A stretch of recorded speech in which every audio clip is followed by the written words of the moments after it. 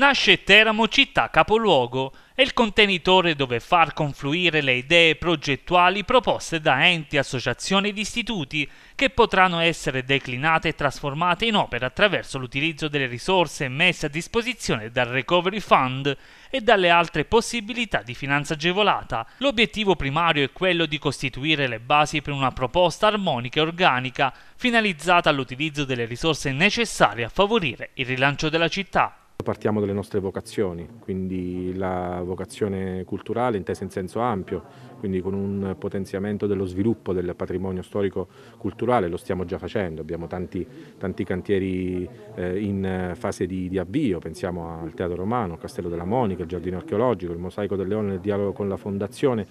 vanno messi a sistema c'è il rapporto con l'Università di ZS, quindi la vocazione universitaria, ricerca e sviluppo, la vocazione commerciale della, della città e il rilancio delle attività produttive, eh, c'è la Camera di Commercio nella, nella, cabina di regia, Camera di Commercio che dovrà cogliere eh, la sfida ehm, che insomma, è quella di una fusione che non deve consentire di abbandonare il territorio, ma con Antonella Ballone stiamo lavorando in questa direzione, la ringrazio perché è già attivissima anche nell'ambito di questo percorso, un percorso che parte dal recovery, ma che non finisce con il recovery, vuole essere un metodo permanente che vuole cogliere l'opportunità del contratto istituzionale di sviluppo che avevamo chiesto al Presidente Conte e che abbiamo ottenuto per il cratere sismico del centro Italia, che vuole eh, diciamo così, consentire di arrivare a una programmazione europea 2021-27, nell'ambito della quale, consentitemi di dirlo, già da subito chiediamo che vengano stanziati, ristanziati immediatamente i fondi previsti per l'ex manicomio. Nell'ambito di questo contesto di sviluppo della nostra città,